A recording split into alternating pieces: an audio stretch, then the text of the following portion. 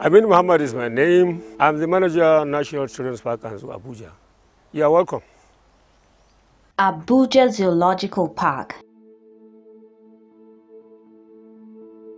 is located in Asokoro district of Abuja, just behind the presidential villa and close to the towering Aso Rock, formerly known as Treasure Island. Abuja Zoological Park is a wildlife park that boasts of a variety of exotic animals and has a toddler's lane, which is a playing area for kids. Zoos were made to bring wildlife closer to humans. It gave humans a better and closer view of them. This allows various researchers and scientists to note the behavioral pattern of the animals. It helps them in their studies and discover new things. In addition, zoos are a great source of entertainment for kids. They love visiting zoo and interacting with animals. This helps them learn practical knowledge about the animal. On our tour of the park, we saw animals like crocodiles, the African buffalo, and a rabbit cage with two different species. Moving on, we saw hyenas. In other enclosures, we were frightened at the roar of the lions. At the same time, it was awesome to see the king of the jungle. Not very far from the ostrich.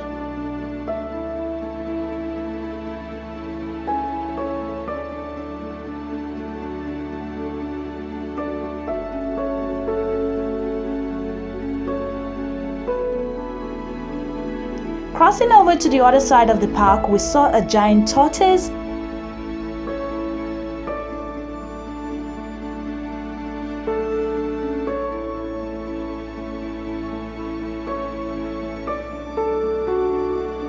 The python was the last animal we saw. But before that, on our way, we had stopped to see the donkeys and horses in other enclosures.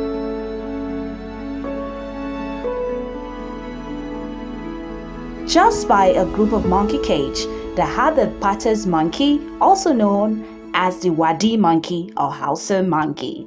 This is a ground dwelling monkey distributed over semi arid areas of West Africa and into East Africa.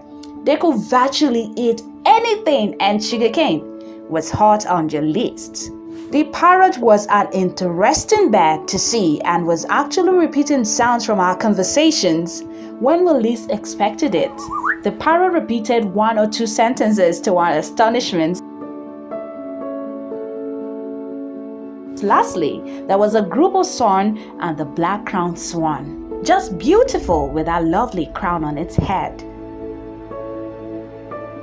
Well, not enough to make a full fledged zoo, but definitely adequate enough to pique my interest and your interest, I hope. After meandering through the mini zoo, you will probably be tired, so the Lake Cafe should be your next point of call.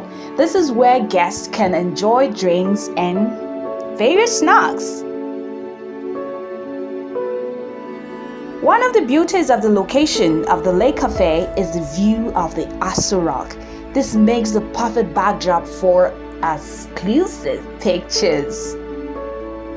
A children's park would be incomplete without a playground, and there was one quite close to the cafe.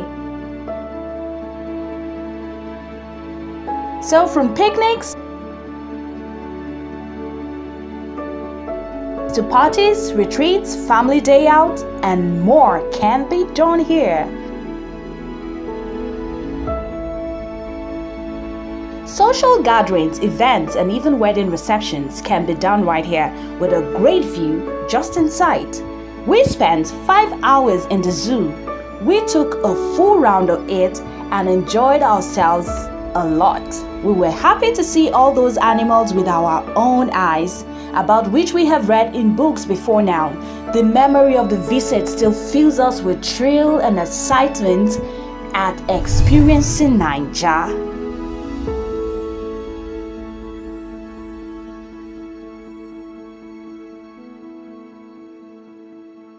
The park was officially opened in the year 2001 by the then president, former president, that's uh, Chief Olusegun Obasanjo, GS,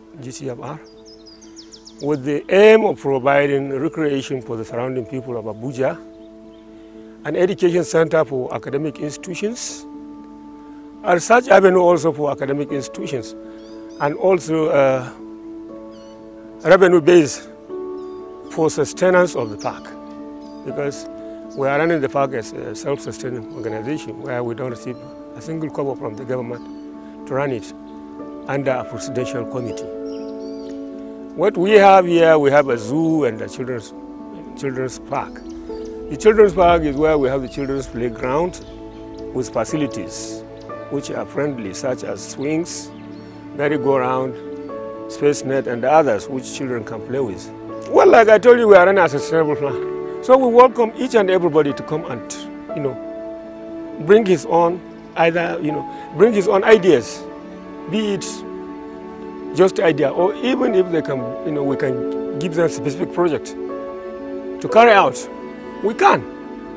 Like now we have a lot of visitors today, but we don't have education resource center. And we need that one in place. An education resource center is supposed to be a very big place with a very big hall where children will be seated with audio visual so that you can have a formal class, kind of. After going around, they will just be seated, you know, you use slide projectors to at least give them formal class on certain areas, such as, you know, how to, about desertification, how to stop global warming, eh? why we should conserve plants, animals for their own uses. If we are to employ what we, more than what we have now, definitely we'll run into trouble.